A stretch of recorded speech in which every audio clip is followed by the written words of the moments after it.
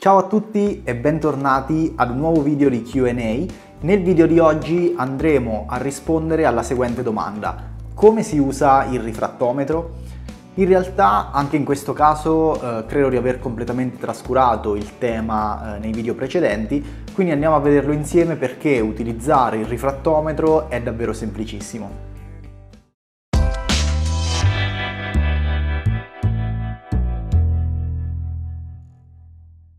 Il rifrattometro è uno strumento che si usa per misurare la salinità dell'acqua e a prima vista sembra una specie di cannocchiale. Per utilizzarlo non dobbiamo far altro che mettere delle gocce d'acqua sul vetrino anteriore tramite una pipetta che di solito viene data in dotazione e poi richiudere il coperchietto facendo attenzione che non ci siano bolle d'aria incastrate tra il vetrino e il coperchietto.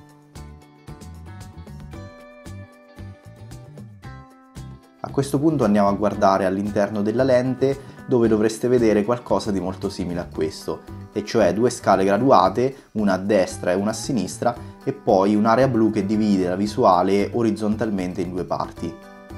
Adesso la scala più diffusa e più semplice da utilizzare è forse quella sulla destra, che esprime valori in millesimi o ppm, e quindi se per esempio volete raggiungere una salinità di 33 ppm, e cioè 33 grammi per litro, non dovrete far altro che aggiungere sale all'acqua e continuare a testare l'acqua tramite il rifrattometro finché la linea blu raggiunge appunto il valore di 33 sulla scala a destra, cioè quella in millesimi.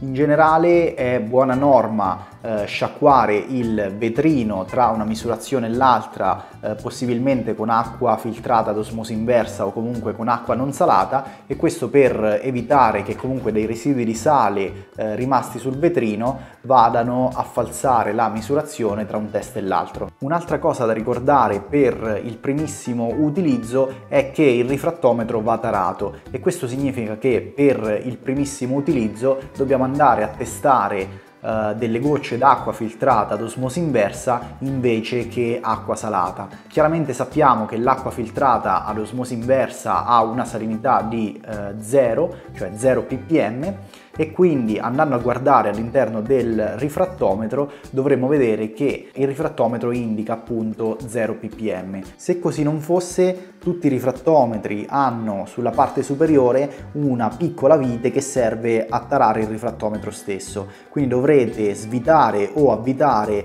eh, la vite fin quando la linea blu indicherà 0 ppm. Detto questo siete pronti per iniziare a testare la vostra acqua, io spero che questo video vi sia piaciuto ma soprattutto che vi sia stato utile, noi ci vediamo prestissimo con tanti nuovi video.